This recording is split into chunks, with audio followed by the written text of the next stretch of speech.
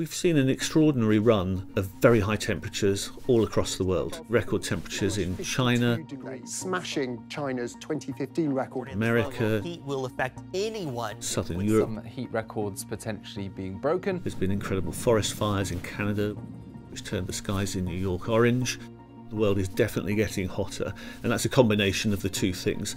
One is that underlying force of global heating, because we keep putting more and more carbon dioxide into the air, and the second is this emergence of El Nino, a global natural climate phenomenon which can supercharge the temperatures that we feel.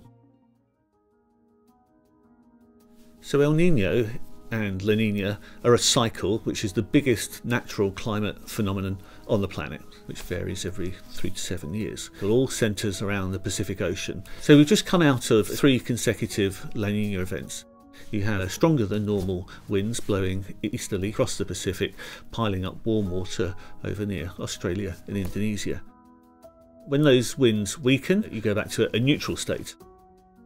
When you get into an El Nino cycle, what you get is much weaker winds. And what that means is the warm water on the surface of the Pacific sloshes all the way back across to the east and creates this enormous warm blanket over the whole ocean.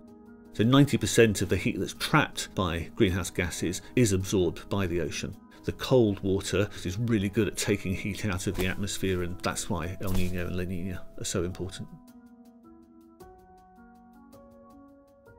The reason that the arrival of El Nino now is really concerning is that the world hasn't stopped emitting carbon. Temperatures are still rising because of that greenhouse effect, mainly from fossil fuels. On top of that, we've got this El Nino event arriving. These red colours show that temperatures are indeed above normal. El Nino also affects uh, extreme weather patterns all around the world. It's like a double whammy. Heat waves will be more intense, longer, more damaging.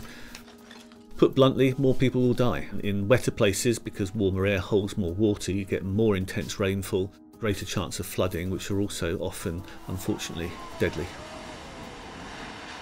The size of the El Nino really matters. So the last time we had a really big one was 2016, and that set the record for the hottest global temperature. It's quite possible that 2023 could break that record, or even more likely in 2024, because most of the heat is released in the following year. Fortunately, the answer is we don't know at the moment. What we do know is that until we stop burning fossil fuels and destroying rainforests, until we stop putting more greenhouse gases into the atmosphere, global heating is going to get worse. With El Nino on top of that, the impacts around the world are going to be really, really tough.